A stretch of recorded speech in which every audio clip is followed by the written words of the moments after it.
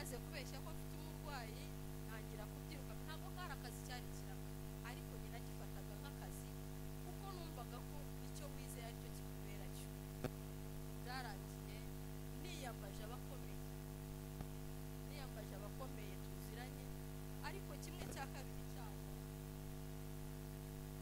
ntabwo bakumva nk'uko wiyambaje iyo wiyambaje igitsina gabo kugira ngo agufashe igare kugira ngo nk'uburiri iyo wiyambaje igitsina gabo kitazi imana igare kugira ngo agire icyo agufasha nta handi nyirabanza kugucisha inama ndashima imana ko icyo gihe yampagazeho singire n'umwe niringira ngo kubera ko ansabye ibi ngibi nibikora biri bucemo mpagaze ahanshima imana ko yamaze kwa kabuga niba mujya mugomba abenshi barahongaho kugira ngo mfungirweyo iminsi ibiri nakatirwa umwaka imageragere ariko ndashima imana ko abo niringiye muri ako kamwanya bose nta n'umwegeze agaragara imana iravuga ngo ninza kugutabara nzasenya fondasiyo zaba zawushimikirije hanyuma nzamure yanjye kugira ngo hatazagira ukikira imana yaragiye muri ba bandi bose twari tuziranye banyuma umwanya uwo ngoze hati ntabwo mpari uwo ngoze ati ndi mu nama uwo ngoze hati simpari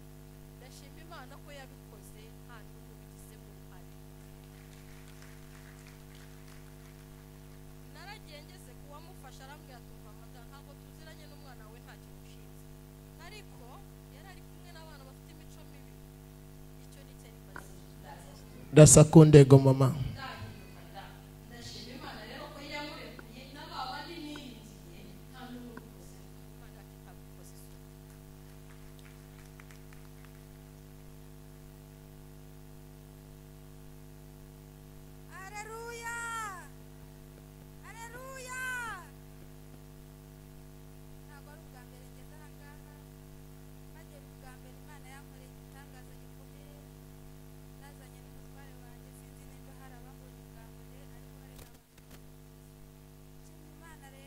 icyo iri gukora, umutware wanjye yanywaga inzoga cyane ariko Imana hari icyo iri gukora rwose ntabwo aherutse kuyinywa, mumpere Imana icyubahiro cyane. Haleluya!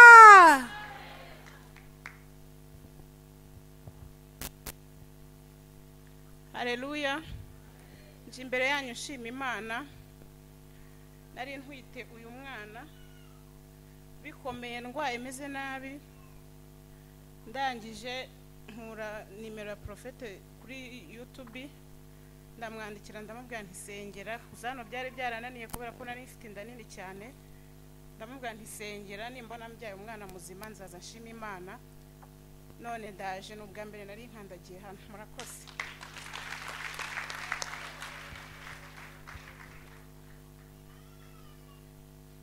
Aleluya mpagaze hano nanjye nshima imana.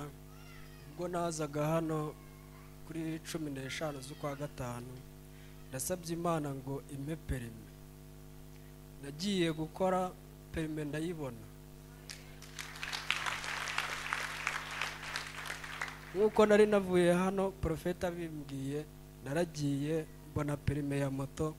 Kubona perime ya moto biragoranye ni ibintu bigoye ariko iyo imana ihabaye nyine urayibona. Ikindi nanone nshimira imana ndashimira imana ko imfashije muri iki gitondo. Nasabaga imana ngo impe ibihumbi mirongo itanu byo gukora ikizami cya be byo gukodesha imodoka. Ndashima imana ko impaye ibihumbi mirongo itandatu muri iki gitondo. Ndashima imana numvaga ntari butura ariko imana impaye amafaranga yo gutura. Ndatuye intera icyubahiro.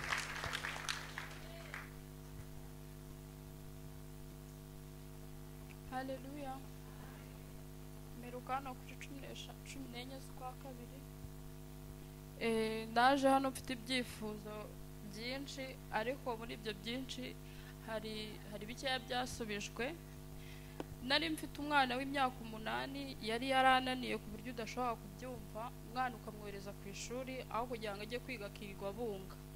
Ariko nazanye icyifuzo hano ndavuga ati mana uyu mwana numuhindura akajya ajya ku ishuri akazana amanota meza nk'ay'abandi bana nzagushema ubwo rero ku bw'ibyo yarabikoze umwana asigaye yiga neza n'ubu mfite amakuru ko ashobora kuzaba uwa mbere.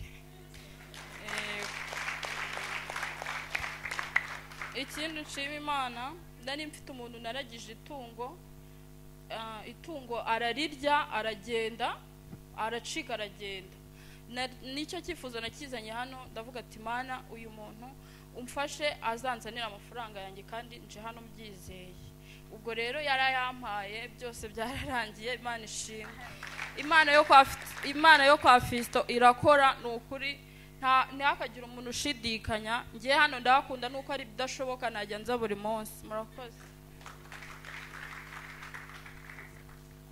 Haleluya haleluya mpagaze imbere y'imbaga ingana gutya nshima imana kubw'ibitangaza imana ejo yankoreye. Ku wa gatatu nari ndi hano ariko kubera akazi nkora nyine umuntu yaranshatse ngamo akazi arambura. Ndangije ngezo barambwira ati twakubuze. Ndavuga ati ok niba mwambuze ni imana wenda yabikoze ntawamenya kuko njyewe ubundi nubwo mpagaze hano mbere na mbere manza gusaba imana imbabazi ubundi iki kintu ngiye gukora ngenda umunyabyaha imbere y'imana ijya imbabarira rwose pe gusa imana n'inshoboza nzabishobora nihane kandi ngere nkore umurimo w'imana mbishaka. Ya nageze ku kazi bambwira gutyo ndavuga ati okay ni yabikoze ubwo hari igihe ibyanjye bizaba biza nyine. Dusoje amateraniro porofete yaravuze ati imana imuhe umugisha pe. Yaravuze ati abantu bose basigaye hano imana ibaha umugisha mu mabizinesi yabo irayaguye ibikorwa byayo irabyaguye ariko nageze mu kazi ndakora ndakora. Ariko ejo nshima imana ko yankoreye igitangaza nkabona amafaranga atunguranye mu buryo nanjye ubwanjye nazi kandi ibintu atakekaga mu mera icyubahiro abantu bose bari hano imana ibaha ibyakera haleluya nanjye ndashima imana ko yankijije nari ndwaye mu nda cyane mu kiziba cy'inda njya kwa muganga bambwira ko ndwaye ama infection nanywa ibinini indi kandya cyane biteye ubwoba. Naje hano fisita avuga ko mfite ikibazo cy'ama ara- mbese ubwo yaravuze ati hano hari umuntu ufite ikibazo cy'amayinfegisiyo bambwiye ko ari amayinfegisiyo kandi ari amarozi. Nahise niyumva ndavuga nti nta wundi ni ngewe icyo gihe ntahana amazi yari yatanze amazi ngo tuze turayakoresha turebe ko ibibazo dufite birakira ngeze mu rugo amazi narayakoresheje mbyuka nakize. Shima imana. Ariko nyuma y'ibyo ntabwo nakize neza nk'uko bikwiye. Ahubwo narakize mara nk'iminsi nk'itatu numva nta kibazo mfite. Hashize iminsi itatu noneho biza biteye ubwoba. Hahandi no kuva mu buriri byananiraga. Ubwo haciyemo iminsi ndongera ndavuga inti reka njyeyo nta kundi. Mbona agahenge ndabyuka ndaza. Ku wa gatatu ngeze hano arampanurira ambwira ko ku wa kane nagombaga gupfa saa yine n'iminota umunani. Rwose imana ndashima imana ko yankijije yankuye mu rupfu none ubu ngubu nicaranye namwe. Imana ihabwe icyubahiro. Kirisiti yeza akuzwe. Areruya njye birandenga nkunda kugira ikiniga cy'ibintu bibiri. Iyo mbabaye ngira ikiniga nanayishima nkagira ikiniga. Ndi umukecuru w'imyaka mirongo itandatu ariko maranye imyaka makumyabiri umutwe udatuma nikura kandi ndi umuturage. Nta kintu nikoreraga kugeza ubwo ubu nari ku rwego rwo kuvomesha kane nk'umwana. Abo duturanye byarabarenze byarabarenze.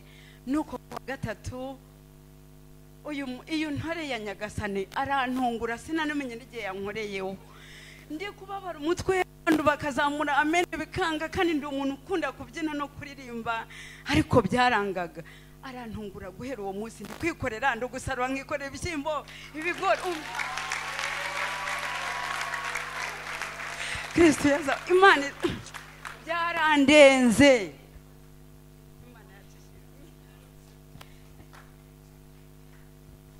Hararuya imana ishimwe. Uwunzi ubushize nza mu kwa gatandatu ndimo ndira amarira yanyishe. Mpagaze hano ninde? Nawe mbonye. Nari mfite amarira menshi. Eh, uyu mumarayika w'imana asanga hariya. Akajya ambwira amagambo nkarira ariko mpagaze ahanshima imana nubwo bitasohoye byose ariko hari icyo imana yakemuyemo. Imana ishimwe ihabwa icyubahiro. Kandi ikindi simvuze byinshi kuko hari n'ibyo nzaniye umuvandimwe muzaniye mishaje yo kuvuga ngo imana igiye kumuha urusengero. Imana igiye kuguteturura. Igiye kugukura hano. Kandi imana yarambwiye ngo nkubwire ngo igukuye abanyeshyari imbere. Kandi igukuye akagambana imbere. Kandi irambwira ngo ujye urya ibyo wigwaburiye ubwawe ntuzigere urya ibyo ubonye. Nugenda uteragura ngo usezeyeho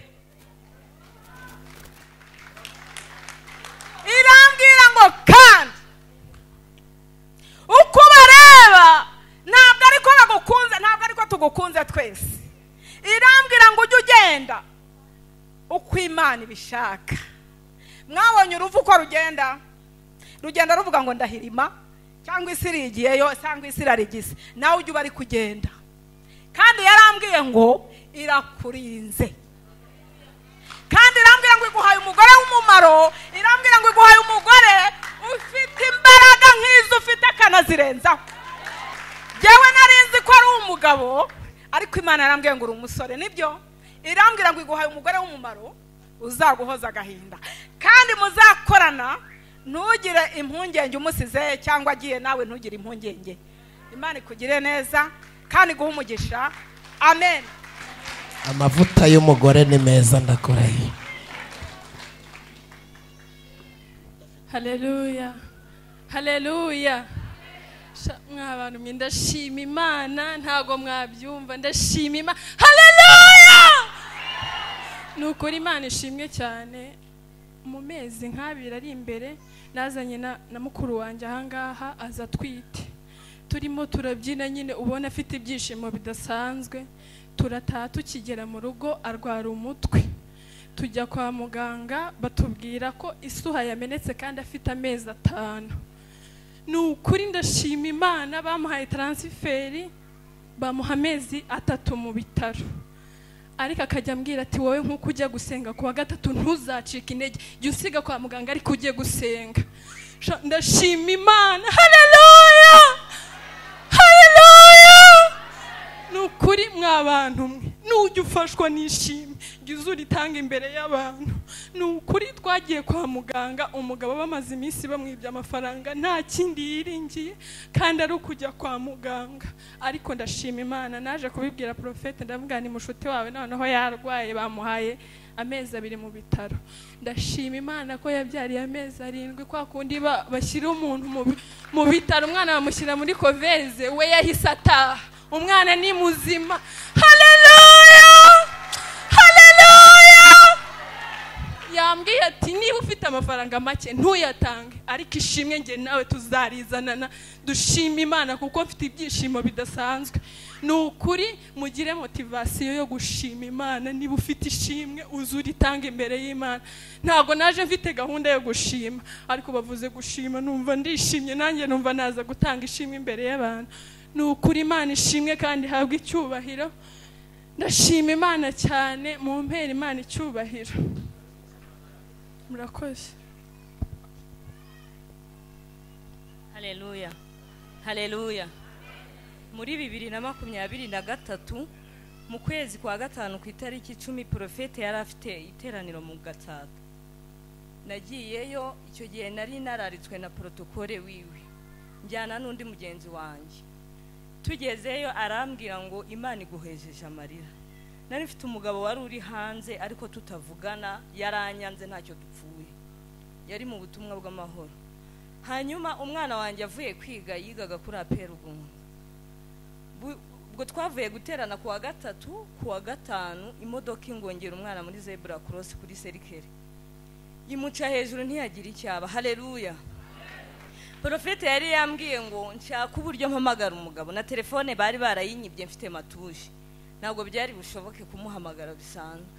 Ngerageza gushaka telefone nza kuyibona. Ndamuhamagara atashye aza neza kandi yari yambwiye ngo ntabwo azagaruka mu rugo. Icyo ndagishima imana. Ikindi ndashima imana ko yangaruye hano. Nari narabuze nimero ye. Abahoze ari ba porotokole be batwumvishije uburyo atari mwiza. Ariko ndababwiza ukuri ko imana y'uyu mugabo irakora. Hareruya imana y'uyu mugabo irakora. Hari indirimbo nshaka kukuririmbira. Ku birenge byawe ni ho natabariwe. Amarira nazanye ntabwo ariyo natahanye oh ku birenge byawe ni ho natabariwe. Amarira nazanye ntabwo ariyo natahanye. Naje kwa pasita fisito ndi umusinzi. Ariko ubu ndi umukozi w'imana nawe Haleluya. amena ndifuza gukorana nawe. Karibu mama. Ndakwibutse mu gasata ko ka etaje Eh, eh, icupa warariretse buri kunywera kwa yoweri karibu. Hareruya kirisi akuzwe. Naje hano mbabaye cyane nubwo ntibuka itariki. Naje hano mbabaye cyane nubwo ntibuka itariki naziyeho sinzi umugiraneza wambonye naramutakiye ukuntu mpora nkandagira bikanga nta maguru nagiraga kandi nyafite. Nabanje mu- biti by'ibyatsi ibyo biranga njya mu madisipanseri ibyo biranga. Ngeze aho ndagenda njya kwa dogiteri. Dogiteri ati ni ukugucisha mu cyuma tukareba impamvu zituma amaguru yawe nyavura ntakire ubwo bampata imiti buri kwezi njya ku, bitaro bampata imiti buri kwezi njya kwa muganga byanga dogiteri ageze aravuga ati ngiye kukwandikira imiti ya nyuma ugende ujye mu mafarumasi uyigurire. Ibyo ndabyemeye. Naratashye ngeze mu mujyi wacu aho mu mafarumasi ahari ngura imiti ihwanye n'amafaranga nari mfite ndeba make ngeze mu rugo mbibwira umugabo umugabo imiti yarasubiye kujya kuyingurira bukeye mu gitondo imiti ndayirya by'ubusa. Nakandagira nkumva amaha munsi y'ikirenge. Nakandagira nkumva amaha munsi y'ikirenge. Hari umudamu wari utuye ku musozi wo hakurya nta nubwo duturanye. We naramutakiye harambwa tuzaze nkwereka ahantu nkujyana bagusengere kandi uzataha amaguru yawe agenda naje hano abandi bahaguruka babyina babyina najya kubyina nkumva ukuguru kuranze. Najya kubyina ukuguru kuranze. None mubonye ko hano mpahagaze hafi iminota ingahe mpagaze hano ntara numva akaguru nta kibazo naratashye mara umunsi umwe ku munsi wa kabiri. Nakandagira bya bintu byagiye he? Bya bintu byagiye numvaga nzarwara kanseri byanze bikunze iri sengesho ryaha niryo ryankijije mu mpera y'umugabo amashyi. Urakoze. Amen. Ahantu sinzahareka ahantu sinzahareka nazanye n'inkumi yanjye hano nawe nifite ikibazo ubwo irava hano yakize